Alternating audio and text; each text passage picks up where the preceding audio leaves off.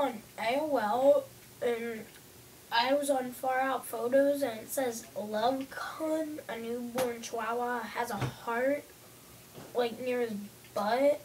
And my guinea pig has the same thing, same color. I should go to Guinness World Record of Book or Guinness Book World. Uh, is she there? But yes, I should, shouldn't? I